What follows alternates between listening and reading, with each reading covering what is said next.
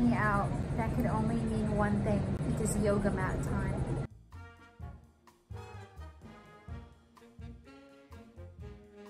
Hello YouTube peoples. I curled my hair. I don't know why. By the way, hair update. Remember I used the um, Wella permanent hair color. I actually think it has begun to fade a little, which I don't mind because I used the um, shade that was one um, step before their darkest shade and it was actually a little bit too dark.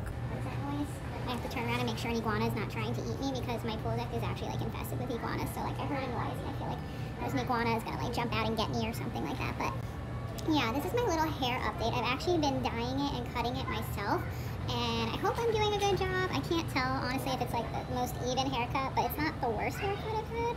But yeah, this is just my little hair update. I am just chilling at the pool. I am bored. People at the pool, I think they think I'm weird. They are not wrong.